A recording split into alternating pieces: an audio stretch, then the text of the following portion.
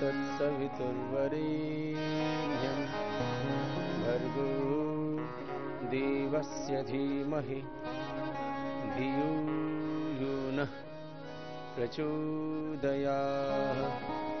ॐ त्र्यम्बकं यजामहे सुगन्धिं पुष्टिवर्धनम् उर्वारुकमिव बन्धनान् मृत्योर्मुक्षीयमामृता ॐ सहनावतु सहनो भुनक्तु सह वीर्यं करवावहैः। तेजस्विनावधीतमस्तु मा विद्विषावहैः। ॐ सतो मा सद्गमय। तमसो मा च्युतिर्गमय मृत्योरमा अमृतं गमय। शान्तिः शान्तिः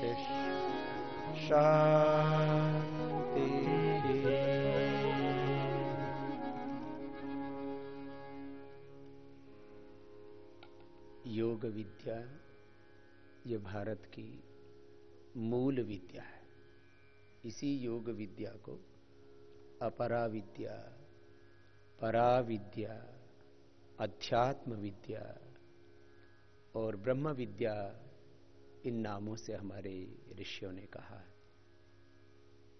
आज हम प्रथम ध्यान योग का अभ्यास करेंगे। और उसके बाद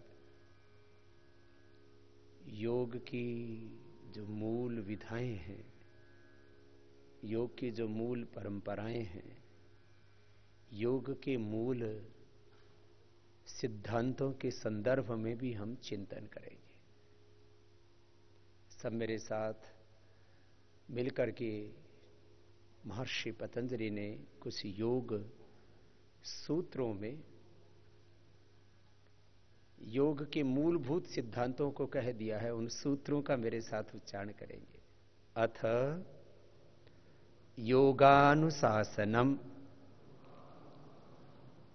योगश चित्तवृत्ति निरोध, तदा द्रष्टु स्वरूपे अवस्थानम। वृत्ति सारूप्यम इतरत्र अभ्यास वैराग्याभ्याम तन्निरोध। ईश्वर प्रणिधानाद्वा तीव्र संवेगानाम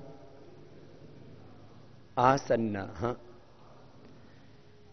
ये योग के प्रथम पाद के कुछ मूल सूत्र मैंने आपसे कहे हैं। फिर आज हम महर्षि पतंजलि ने योग के जो मूल सिद्धांत दिए हैं, उसकी थोड़ी चर्चा करते हैं। फिर ज्ञान योग, कर्म योग, भक्ति योग राजयोग और हठ योग के संदर्भ में भी थोड़ा सा चिंतन करेंगे। योग को महर्षि पतंजलि ने कहा, अथ अथ दो अर्थों में प्रयोग होता है। एक तो प्रारंभ, जब किसी विषय का करते हैं तो अथ शब्द से करते हैं। दूसरा, मंगलाचरण के लिए। कुछ ऐसे शब्द होते हैं, जिनके उच्चारण करने से ही मंगल होता है। जैसे ओ ये शब्द ही ऐसा है। इसके उच्चारण करने से ही मन को शांति मिलती है। स्ट्रेस हार्मोन्स हमारे कम हो जाते हैं। स्वाभाविक रूप से मन को शांति मिलती है। और हम अंतर्मुखी होने लगते हैं। ऐसी अथ शब्द मंगल के लिए, योगानुशासनम। हम योग का अनुशासन कहते हैं, ऐसा महर्षि पतंजलि ने प्रथम सूत्र कहा। वैसे भी जीवन में कोई भी सत्य घटित होता तो उसके लिए पहली आवश्यकता है अनुशासन की। किसकी? और डिसिप्लिन के बारे में आपसे ज़्यादा कौन जानता होगा? पचास वर्षों का बीएसएफ का एक बहुत गौरवशाली इतिहास रहा है और अनुशासन का एक विश्व कीर्तिमान बीएसएफ ने बनाया है। उसके लिए आपको बधाई। पूरा देश आप पर गौरव करता है। देश की सीमाओं की आप सुरक्षा करते हैं। और आपका तो स्लोगन ही है, जीवन पर्यंत कर्तव्य का पालन करना। और ऐसा करते हुए यदि अपने प्राणों को भी न्योछावर करना पड़े तो उससे भी पीछे न हटना और उसको करके दिखा देना, ये बीएसएफ का इतिहास। है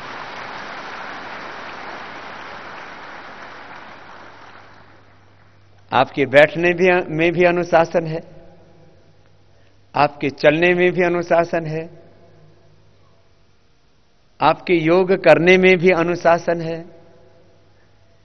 और जिसके पूरे जीवन में अनुशासन होता है, उसमें योग का सत्य बहुत जल्दी घटित हो जाता है। तो महर्षि पतंजलि कहते हैं, अथ योगानुशासनम। हम योग का अनुशासन बताते हैं। योग का डिसिप्लिन क्या है? तो फिर बोले, ये क्या है? तो एक सूत्र में योग का संपूर्ण सत्य कहा योग चित्त वृत्ति निरोध। शरीर, इंद्रियों और मन तथा मन में उठती हुई जो वृत्तियाँ हैं, उससे पार योग है। तो बोले, ये क्या है? शरीर को तो हम देखते हैं इसको तो अनुभव करते हैं। शरीर का रूप, लावण्य, सौंदर्य, इसका सुख, ये सब हमको दिखता है, अनुभव में आता है। इंद्रियाँ, पंच ज्ञानेन्द्रियाँ हैं, पंच कर्मेंद्रियाँ हैं। पाणी, पाद, पायु उपस्थ वाक, हाथ, पैर, मल और मूत्र, दो द्वार, ये जिनसे मल का विसर्जन होता है। पाणी, पाद पाई उपस्थ और वाक, वाणी जिसे हम बोलते हैं, जिससे कर्म करते हो कर्म इंद्रिया तो पाँच तो कर्म इंद्रिया हो गई। पाँच ज्ञान इंद्रिया हैं। आँखों से हमें किसका ज्ञान होता है? रूप का। पहचान होती है ना? ये इसका रूप, इसका स्वरूप, इसका आकार, इसका प्रकार। इसकी लंबाई, इसकी चौड़ाई, इसकी ऊंचाई, इसकी गहराई। आँख से हमें चीज़ें दिखती हैं। तो देखने का ज्ञान ये आँखों से होता है। सुनने का ज्ञान ये कान से होता है। सूंघने का बोध नाक से होता है। स्वाद का बोध जिह्वा से होता है। स्पर्श का बोध हमारी त्वचा से होता है। सारी चीज़ें दिखती नहीं है। सारी चीज़ें सुनाई नहीं देती हैं। सारी चीज़ों में स्वाद नहीं आता है। सब चीज़ों में गंध नहीं होती है। सब चीज़ों को स्पर्श नहीं किया जा सकता है। इसलिए बोध को पाँच ज्ञानेन्द्रियों में बांट दिया। और सब चीज़ों का बोध इंद्रियों से भी नहीं होता है। कुछ चीज़ों का बोध, कुछ चीज़ों का ज्ञान, अनुभव मन से होता है। जैसे कोई कहे कि मेरा अपमान हो गया तो कोई उससे पूछे कि अपमान का रंग कैसा था? कैसा था? वो आँखों से देख के बता सकते हो कि अपमान कैसा होता है? उस, उसमें अपमान में की ध्वनि क्या है? अपमान की गंध क्या है? अपमान का स्वाद क्या है? तो बोलने में बोल देते हैं, बोले तो जब होगा तब पता लगेगा। लेकिन आप उसका स्वाद नहीं बता सकते कि कड़वा बोले थी अपमान का घुट, बड़ा कड़वा होता है। तो ऐसा कोई उस, कोई मेटीरियल नहीं है। ये कोई मेटलिस्टिक ट्रुथ नहीं है। भौतिक सत्य नहीं जिसको आप किसी लैब में देख सकें, अनुभव कर सके, जिसको आप विजुलाइज कर सके, कह सके, ये है अपमान। ऐसा उसमें न गंध है, ना उसमें स्वाद है, ना उसको कोई स्पर्श कर सकता।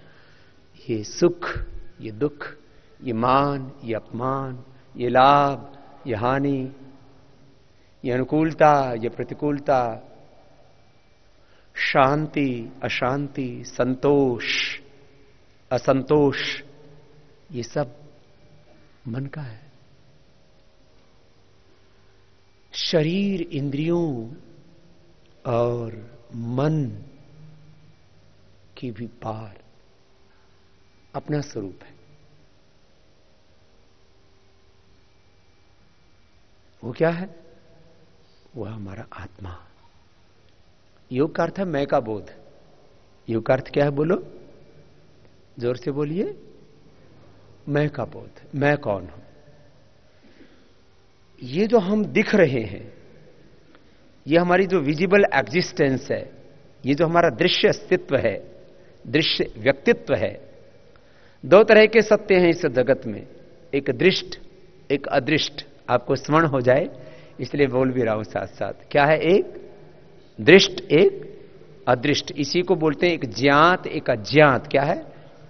ज्ञात और एक मूर्त, एक अमूर्त, एक व्यक्त, एक अव्यक्त, एक प्रत्यक्ष, एक परोक्ष, एक विश्वमय, एक विश्वातीत। ऐसे ये शब्दों का प्रयोग मैंने किया है थोड़ा।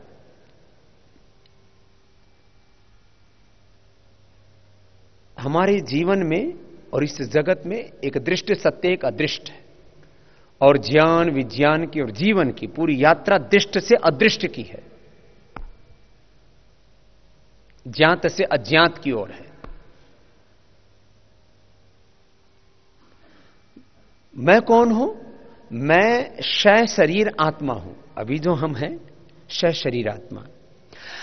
जब ये शरीर छूट जाता है, तब लीवर वही होता है या चेंज हो जाता है? बोलो। शरीर से आत्मा निकल गया, जिसको मृत्यु कहते हैं डेथ बोलते हैं। तो लीवर वही होता है या चेंज हो जाता है? वही। किडनी भी, वही। हार्ट भी ब्रेन भी, आँखें, कान भी, हाथ, पैर भी। तो फिर इसमें से कौन सी ऐसी चीज़ है भाई? सब कुछ तो ऐसा ही है। Liver kidney heart brain nervous system सब कुछ तो ऐसे ही है, जैसे मरने के पहले था। और अब तो विज्ञान ने ऐसा भी कर दिया है कि यदि मृत्यु के थोड़ी देर बाद तक व्यक्ति के अंगों का प्रयोग किया जाए तो उसके ब्रेन का, उसके हार्ट का, उसके लीवर का, उसकी किडनी का, उसके आँखों का प्रत्यारोपण किया जा सकता है। ट्रांसप्लांट बोलते हैं उसको।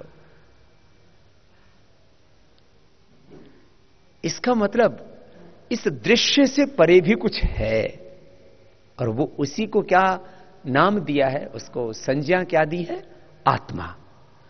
तो हम योग में अपने आत्मा से जुड़ जाते हैं। तो इस आत्मा में क्या ऐसी खास बात है जो शरीर, इंद्रिय और मन में नहीं है?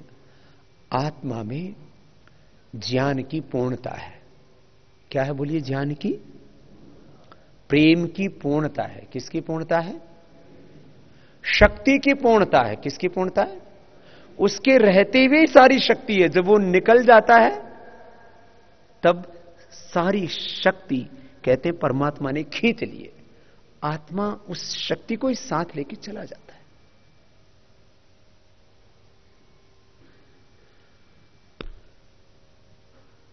तो हमारे भीतर जो अपरिमित ज्ञान, मैं ऊपर से कह रहा हूँ, याद रहेगा, मस्तिष्क में क्या है? ज्ञान। हृदय में क्या है? प्रेम। ये भुजाएँ किसकी प्रतीक है? शक्ति की।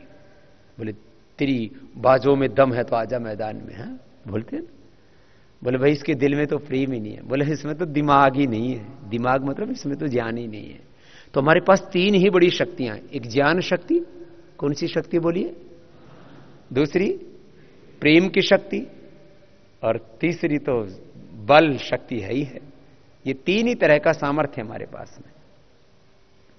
पुरुषार्थ की शक्ति, कर्म की शक्ति, तीसरी।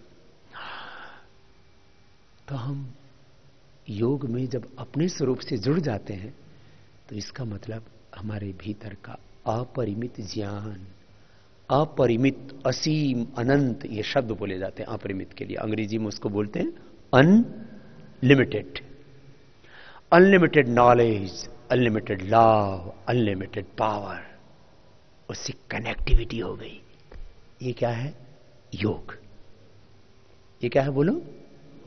तो आपको नॉलेज चाहिए ना? सबको प्रेम, लव भी चाहिए। सबको स्ट्रेंथ भी चाहिए। पुरुषार्थ भी करने की ताकत चाहिए।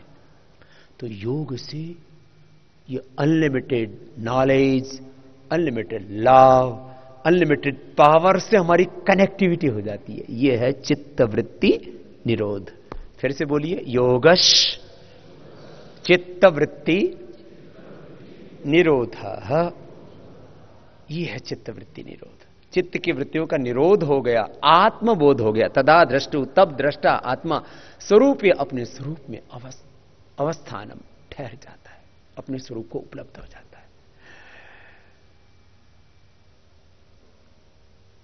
ऐसा नहीं होता तो क्या होता है? वृत्ति सारूप्यम इतरत्र। फिर जो मन में विचार उठता है उधर ही बह जाता है। मन में क्रोध उठता है तो हम क्या हो जाते हैं बोलो? क्रोधी। लोभ उठ जाता है तो? लोभी। मोह उठ जाता है तो? मोही। काम उठ जाता है तो? कामी। देशभक्ति उठ जाती है तो? देशभक्त। और कोई उल्टा वायरस छोड़ दे तो, तो गड़बड़ भी हो जाती है।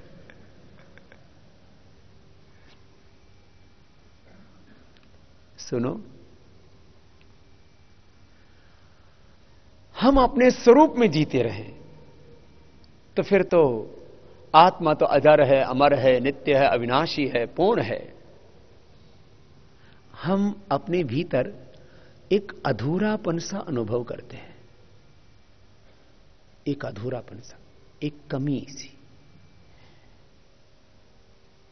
उस अधूरेपन को, उस कमी को, उस अभाव को भरने के लिए क्या करते हैं? हम कुछ दूसरी चीज़ों को, का सहारा ढूंढते हैं।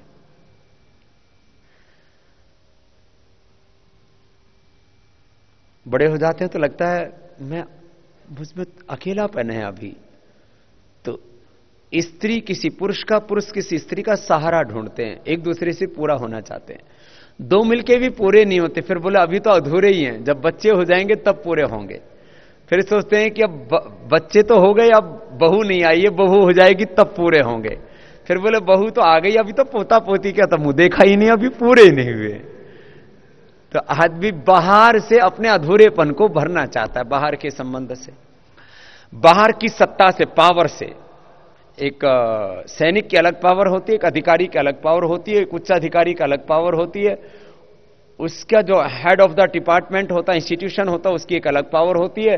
फिर सारे इंस्टीट्यूशंस को जो हेड करता है, उसके पास से एक अलग प्रकार की कॉन्स्टिट्यूशनल पावर होती है, चाहे वो सीएम हो या पीएम हो अलग अलग प्रकार की पावर है। उस पावर से हम पूरा होना चाहते हैं। ट्रांसपेरिटी से हम पूरा होना चाहते हैं कि इतना, इतनी संपत्ति, इतना पैसा मेरे पास होगा तो मैं पूरा हो जाऊँगा। इतना सम्मान मुझे मिल जाएगा तो मैं पूरा हो जाऊँगा। इतना सुख मुझे मिल जाएगा तो मैं पूरा हो जाऊँगा। इतने संबंध मेरे स्थापित हो जाएँगे तो मैं पूरा हो जाऊँगा। तो पाँच चीज़ों में हम अपने अभाव की पूर्त, पूर्ति करना चाहते हैं। एक है सत्ता। मैं आपसे पूछूँगा भी। इसलिए आप नोट भी कर सकते हैं। हो सकता है आप भूल जाएँ, इतनी बातें बता रहा हूँ मैं।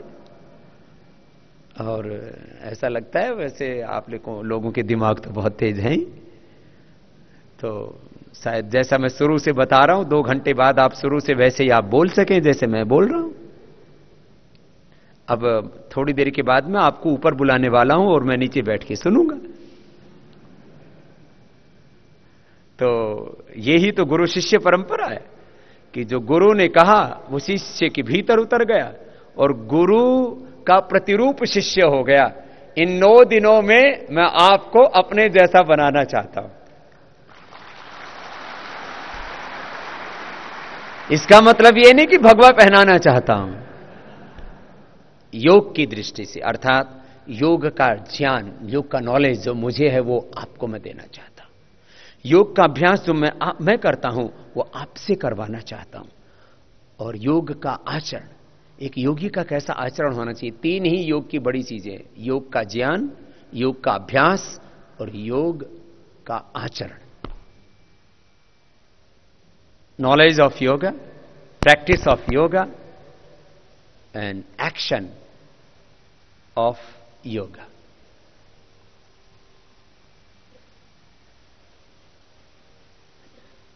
Knowledge of yoga, practice in yoga.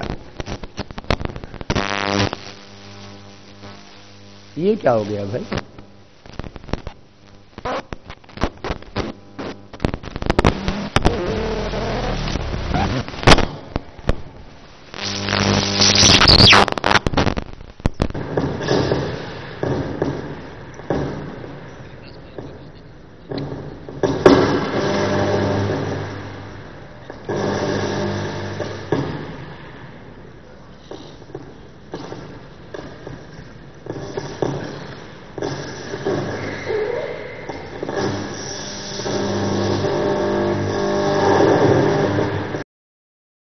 रही है हल्की सी।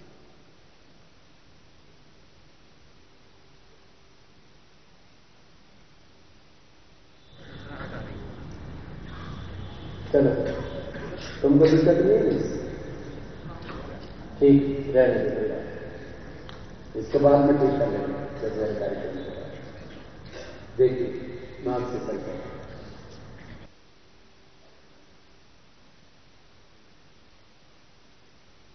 जब हमें अपनी पूर्णता का अनुभव नहीं होता है, तब हम बाहर से पूरा होना चाहते हैं। बाहर की सत्ता, बाहर की संपत्ति, बाहर का सम्मान, बाहर के सुख और ये बाहर के जो संबंध हैं ये मुझे पूरा कर देंगे। ऐसा सोच के व्यक्ति इन बाहर की चीज़ों के साथ एकाकार हो जाता है। इसी से व्यक्ति दुखी होता है। तो होना क्या चाहिए? होना यह चाहिए कि हमें यह अनुभव हो जाए कि मैं स्वयं में पूर्ण हूँ। और ये सृष्टि भी स्वयं में पूर्ण है। स्वयं में और सारी सृष्टि में जो पूर्णता की अनुभूति करता है तो सबके प्रति उसमें कृतज्ञता होती है। तो एक वाक्य में बोला करता हूँ, ये बहुत बड़ा दर्शन है इसमें। स्वयं में बोलिए, तथा समष्टि में पूर्णता का अनुभव करते हुए पूर्ण कृतज्ञता पूर्वक, पूर्ण ज्ञान, पूर्ण निष्ठा, पूर्ण पुरुषार्थ के साथ जीवन पर्यंत अपने कर्तव्य का पालन करना यही योग है। यही जीवन का ध्येय है। बस इतनी सी बात। है बोले, बाबा जी, इतनी बात तो हमको पता है। तो पता है तो बस ऐसे ही जियो। जब मैं स्वयं में पूरा हूँ, और ये सारी सृष्टि भी स्वयं में पूरी है, लेकिन इस सृष्टि ने, इस समष्टि ने, सृष्टि को ही समष्टि भी कहते हैं। मेरे लिए कितना उपकार किया है। मेरे शरीर की एक एक कोशिका, मेरे स्किन सेल्स मेरे blood cells bone cells brain cells body का एक एक सेल उस सेल के भी जो जीन्स हैं क्रोमोजोम्स हैं, उसका डीएनए उन सेल्स से बनने वाले टिश्यू उनसे बनने वाले डिफरेंट ऑर्गन्स पूरा सिस्टम एक एक सेल से लेकर के पूरा सिस्टम इस से बनाया समष्टि के, सृष्टि के सहयोग से बनाया कितना उपकार किया है मुझ पर माता पिता ने, कितना उपकार किया है मुझ पर मेरी मातृभूमि ने। कितना उपकार किया है मेरे इस देश ने मुझ पर, इस समाज ने मुझ पर। मुझे इस समाज ने ज्ञान दिया है, मुझे इस समाज ने नॉलेज दिया है, मुझे इस समाज ने सत्ता दी है, संपत्ति दी है, सम्मान दिया है, भौतिक सुख दिए हैं, और ये सारे संबंध भी यहीं से मिले हैं मुझे। सबके प्रति कृतज्ञता। अब अपने पूर्ण ज्ञान से, अपने पूर्ण निष्ठा से पूर्ण पुरुषार्थ से बस अपना कर्तव्य है, मैं उसको निभाऊं। ये बस इतना ही है। इतना ही जीवन है। तो जब मैं स्वयं में पूरा हूँ तो मुझे पूरा होने के लिए बाहर की चीज़ों की आवश्यकता नहीं है। ये योगी का दर्शन है। ये योगी की अनुभूति है। ये योगी की समझ है। ये योगी का बोध है। ये योगी का विवेक है। इसी को कहते दृष्टि। ये योगी की दृष्टि है। ये योग की दृष्टि है। और जो ऐसे जीता है। तो फिर वो कभी दुखी नहीं हो सकता, क्योंकि उसका आपा उससे कोई छीन नहीं सकता। और बाहर की सत्ता, बाहर की संपत्ति, बाहर का सम्मान, बाहर की सुख, बाहर के संबंध कम ज़्यादा हो सकते हैं। ये तो सब अस्थाई हैं।